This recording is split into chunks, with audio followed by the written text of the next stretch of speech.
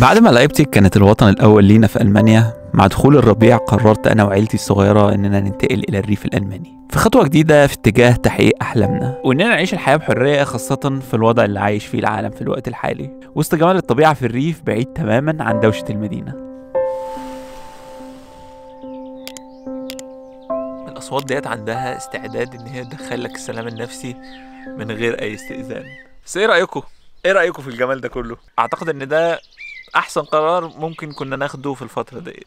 لكل الناس اللي ما تعرفش بقى إحنا جينا نقلنا هنا على بيت أبو دومينيك. يعني ما خدناش شقة جديدة زي ما ناس كتير كانت فاكرة والكلام ده كله. الخطوة ديت هي مجرد خطوة كده انتقالية مؤقتة لغاية لما ندخل على الخطوة اللي جاية اللي هتكون واحدة من أهم الخطوات اللي ناخدها في حياتنا كلها. إحنا دلوقتي واصلين بقالنا حوالي خمس أيام.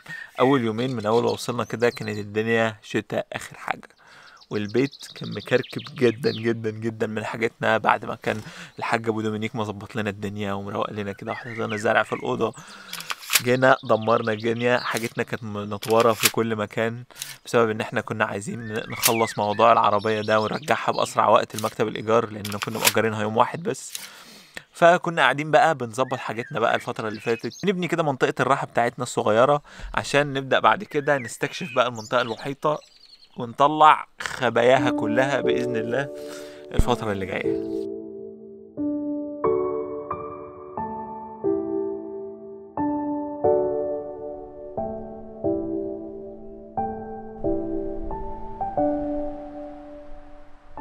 ده البيت بقى اللي إحنا قاعدين الفترة ديت بيت أبو دومينيك. وإحنا قاعدين كده فوق في الشقة الصغيرة ديت أو الأوضة الصغيرة اللي فوق ديت.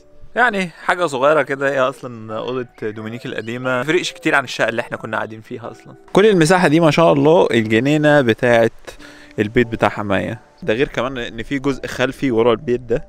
يعني مساحة كبيرة جدا هتكون كويسة لينا عشان يعني نعمل فيها شوية activities في ظل الحظر والكورونا وعدم التحرك في أي حتة. ده غير كمان إن عنده مزرعة صغيرة كده هنحاول إن إحنا نعمل منها فيديوهات كتير الفترة اللي جاية فانتظرونا.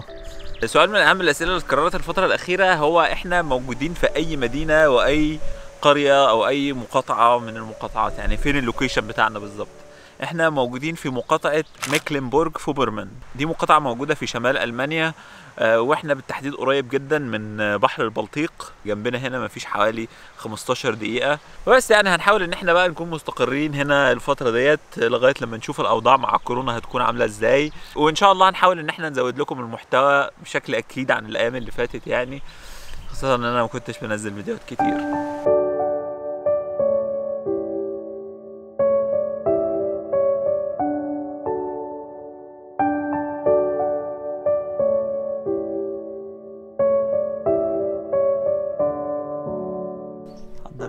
دلوقتي؟ عشان نطلع برا في walk جميل في هذا الجو العظيم. يعني برغم إن إحنا في الربيع بس برضه الجو ده مش متوفر كل يوم يا جماعة. Are we ready? آه يونس not ready. يونس من الأماكن المفضلة له للنوم هو ال stroller لما يبقى مقريف قوي ويعني مش عارفين ننيمه إزاي بنيجي واخدينه على بره على طول. اركب يا الاسترولر يا معلم. دقيقتين وتلاقيه فصل.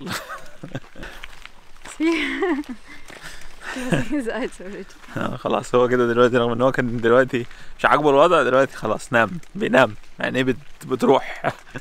القرية اللي إحنا قاعدين فيها دلوقتي كل اللي فيها حوالي خمس بيوت.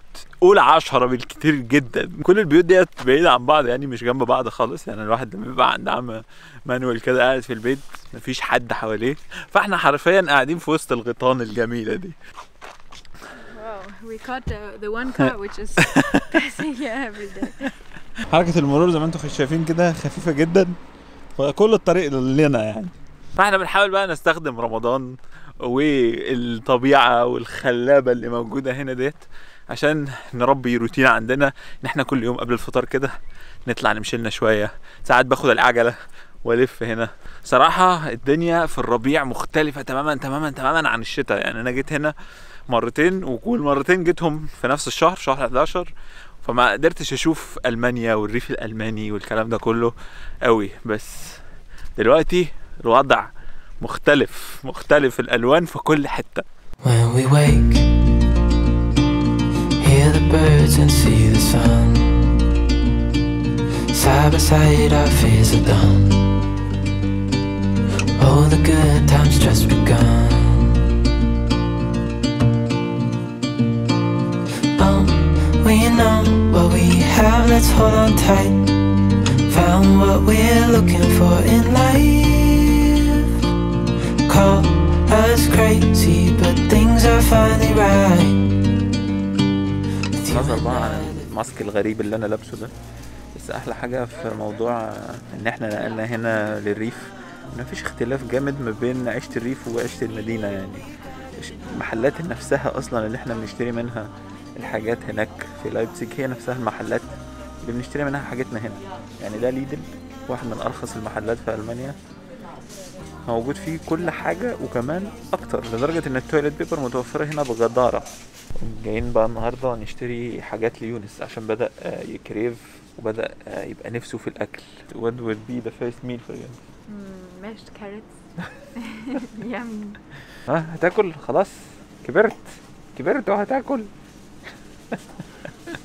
نشوف لسه يعني هو بدأ تظهر عليه علامات الأكل فبنحضر يعني نفسنا How's shopping with me when I'm fasting? It's very annoying. Muhammad wants to buy every single product. يعني والله ما طلبتش حاجات كتير بس يعني إيه كل ما أشوف حاجة تلاقيني بحطها في البتاع ده تقول لي أنت عمرك ما اشتريت الحاجات دي قلت لها أنت اللي غلطانة بتجيبيني السوبر ماركت وأنا صايم before sleep. Hear the crickets, see the moon. Side by side and through and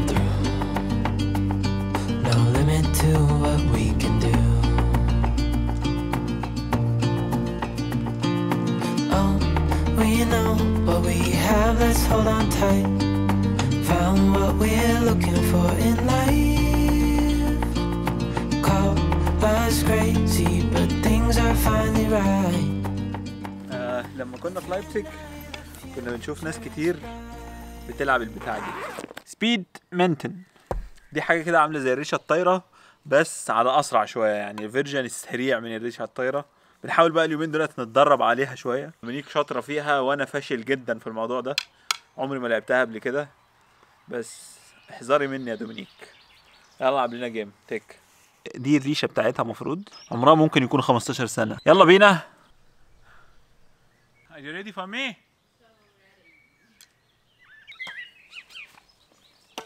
Perfect. يلا هوبا. بلعب لدومينيك أحلى لعب. Oh, oh, where? مش فوق البيت. مش فوق البيت. ما تلوميش عليا معلش يعني.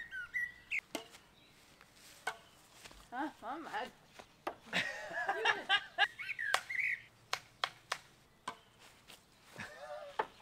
Eunice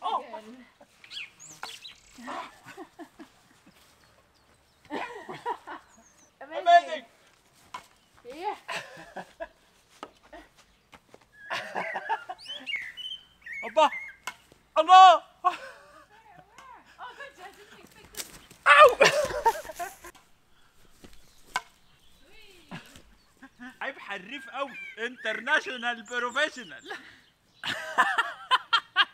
فوق راس حماية بالظبط يا جماعة. منشن. ولما تنشن لازم تسيب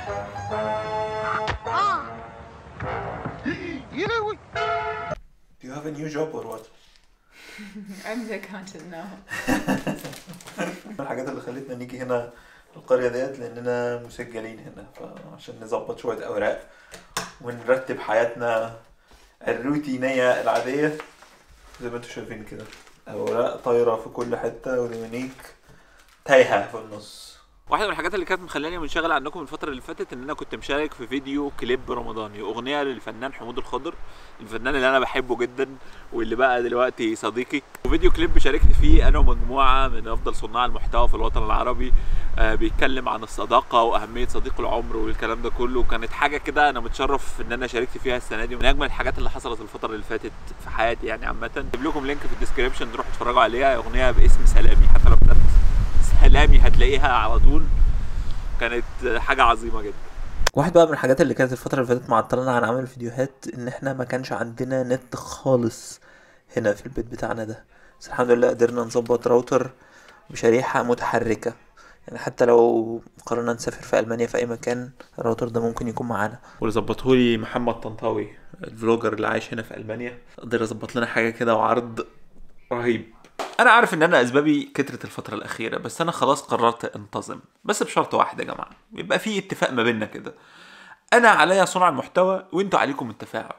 كل ما هتعملوا تفاعل أكتر وكل ما اللايكات هتزيد أكتر والكومنتات والشيرات كل ما هتلاقيني بعمل محتوى بإذن الله مش هتشوفوه في أي حتة تانية. وهكون كده بحط كل مجهودي وببقى متحمس كده من كل اللي جوايا.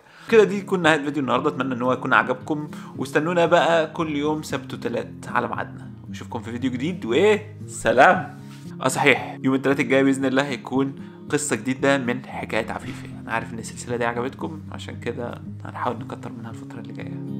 سلام. Just where it was needed.